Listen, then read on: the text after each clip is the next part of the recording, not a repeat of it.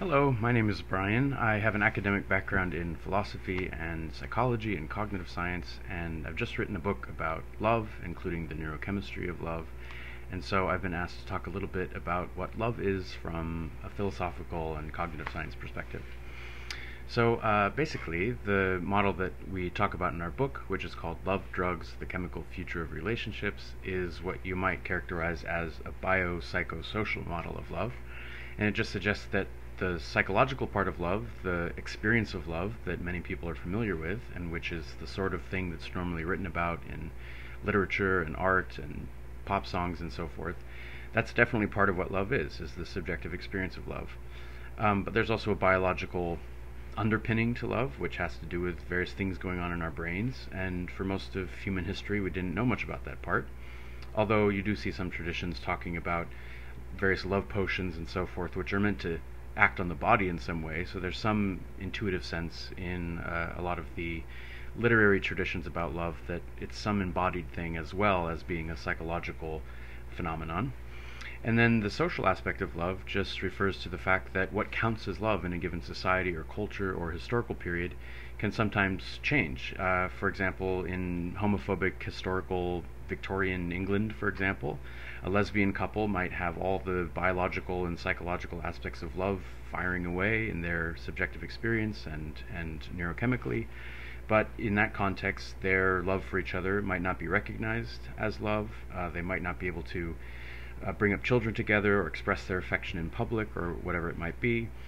Uh, I don't know why I'm picking Victorian England. There are, of course, many places around the world today where same-sex love doesn't count as love in the social context. And so you can see how that could feed back into the psychological experience of love. If you feel ashamed of your feelings in a public setting, that can obviously affect how you experience your love for your partner.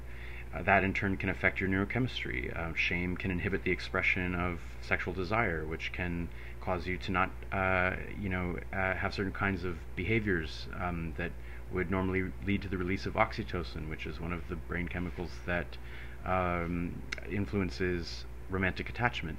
And so all these layers kind of feed into each other, and um, that's the main point about about love to make. Um, on the biological side, there are a number of different theories, but basically the most common one suggests that there are these underlying brain systems that evolved to suit the reproductive needs of our ancestors. The libido or lust system, the evolutionary purpose of that is to draw us toward a range of uh, potential partners. It's mostly underwritten by testosterone and estrogen and, and other neurochemicals uh, you probably have heard of. Um, there's also the attraction system, and the point of that is to narrow our focus down to a smaller number of potential partners, maybe one in particular. And serotonin and norepinephrine and adrenaline and other kinds of brain chemicals are involved in the modulation of that system. And all these chemicals can be manipulated. You can change testosterone levels, you can change serotonin levels. That's what uh, a lot of antidepressant drugs do, is they interact with the serotonin system. So um, I'll come back to that maybe in a second. And then the final system is the attraction, or sorry, the attachment system. And attachment is what keeps parents bonded to their children. It's it's characteristically talked about in terms of the maternal-infant bond because through breastfeeding and other intimate activities, oxytocin is released along with some other uh, brain chemicals like vasopressin and dopamine. And these things reinforce the attachment bond directly at the level of the brain. And adult romantic partners also release oxytocin when they have sex with each other and orgasm and sensuous touching and so forth. And so that's part of what's going on neurochemically when you form an attachment pair bond with somebody. Um, so how does all this brain chemistry relate to some higher level conception of love? And how might various actions that we take, like consuming drugs for medicinal or other purposes, interact with our ne romantic neurochemistry and then potentially have implications for love at these higher levels, uh, like psychology and in terms of the social meanings and the social context. An analogy I like to use is um, to think of the Mona Lisa. So the Mona Lisa exists as and can be described at a number of different levels. One of them is the physical level of the canvas and the paint that's on the canvas, which could all be described in principle in terms of two-dimensional bits of information about what exact color or shade of paint exists at which point in the two-dimensional uh, grid of the canvas And once you've told me all that information, this, this low level two dimensional information, there's a sense in which you would have given me a complete, a technically complete description of the Mona Lisa. I would know all the stuff I need to know to, for example, reproduce the painting. Um, but most people would say that a really robust understanding of something as complicated as the Mona Lisa involves a lot of different layers of analysis, including subjective aspects like what is it like to look at the Mona Lisa and how might we feel or respond to the emotion that we see expressed in the peculiar smile of the subject or whatever it might be. And then also the socio-historical context matters. It really matters who made this painting for how we respond to it and interpret it and understand its significance in, in the wider cultural uh, milieu. So, um, knowing something about the, the socio-cultural and historical background is part of what it is to understand the Mona Lisa. So, um, a similar thing I think is going on in the case of love. Um, there is a technically complete sense, at least in principle, in which you could describe the reality of love at, at the level of the brain in terms of neuroanatomy and brain chemicals and their actions and how they play out. We might not ever be in a position to actually describe all of those levels because there's an epistemological limitation there. It's actually hard to get down to a fine grained level of detail, the explanation at that level. But we're getting better and better at it, and we have more and more of a sense of what's going on in people's brains when they fall in love and fall out of love and form attachments and so forth. Um, but I think a lot of people would say just reducing love to brain chemicals isn't going to give you a robust sense of what this phenomenon is. That you really can't understand what love is unless you also take into consideration the subjective psychological elements. What does it feel like to be in love? And also the so- social and uh, historical uh, context, as I've talked about before. The upshot of all this is that there's different ways to intervene in love and change love. So one way that people are familiar with from, from everyday life is maybe going to couples counseling. You can take active steps to intervene in the psychology, the subjective experience of love, and the sort of thoughts and beliefs and meanings and so forth that are involved in your relationship. You can intervene in that level by, you know, uh, going on a romantic vacation or um, going to talk therapy with your partner or whatever it might be.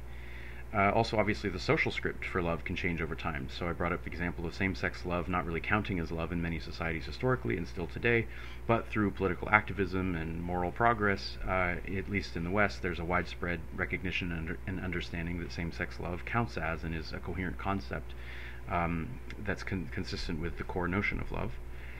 And then increasingly, we'll be in a position to intervene directly at the level of the brain, and we can also affect love in that way, and possibly even bring about uh, something that is phenomenologically identical to what you would experience um, without the, the use of a, a bi- biological intervention. So, um, just as an example, um, I mentioned selective serotonin reuptake inhibitors. I don't think I described them like that, but um, antidepressant medication is one of the main ones. is is a drug that acts on the serotonin system, and there's there's a lot of research suggesting that for some people, a, a well-known side effect is that it can depress libido, which is one of those underlying subsystems of love that I, I mentioned. And so if you're in a romantic relationship and having sexual desire for your partner is at least one important important part of what it means to, to have a certain kind of love with them that maybe distinguishes it from a, a platonic friendship, well a drug that blocks your libido could in some sense change something pretty critical about the nature of the love between you and your partner. Um, there are also drugs that are meant to boost libido. So one that's been marketed recently is called Addyi or flibanserin. It's a libido boosting drug for women. It, it works on serotonin and dopamine. It's controversial whether it actually works as a libido booster, but in principle it's possible to, um, to boost libido and to, to lower libido. Uh, to go back to serotonin, one reason why it's used is it blunts or blocks your feelings uh, of chronic maladaptive sadness. That's the point of the drug. But a side effect for many people is that it can also blunt their ability to care about their partner's feelings. And if you think about one of the normative definitions of love, so if you look at the philosophy literature, uh, what what necessary and sufficient conditions are built into some philosophers' definitions of love? Well, caring about the well-being of your partner and treating that as a as an end in itself is often one of the non-negotiable core ingredients of love. So again, if you take a drug that inhibits your ability to even care about your partner's feelings, you can see how that could influence love in a neurochemical way pretty straightforwardly. Uh, also having effects on, on the psychological subjective experience uh, in just the way I've described. There are also drugs that can promote your ability to take an interest in your partner's feelings. Uh, the empathogen MDMA, which is the key ingredient in ecstasy, the, the party drug, Um, that was used in the 1980s as an adjunct to couples counseling precisely because in that therapeutic setting it could help couples take each other's perspective and be more open to hearing each other out and uh, feeling motivated to care about each other's feelings, which can be positive for, for love if that plays out in the right way. So, I don't know. That's maybe what I'll say about some of the biological and psychosocial and historical ways of thinking about what love is. But love just is a multidimensional phenomenon. You can think of it as a cluster of biological factors that are experienced subjectively within a certain socio-historical context, or you can think of it as a psychosocial phenomenon that's underwritten by and constrained by certain biological factors. But it's not one or the other of those things. It's it's it just is this multidimensional phenomenon, and so the more that we learn about what's going on neurochemically, the more uh, capacity we'll have to intervene in the neurochemistry of love with drugs, and uh, and have ramifications at all of those other levels, including the subjective psychological levels and also potentially the the social meanings that are attributed to love. So I hope that's helpful in some way.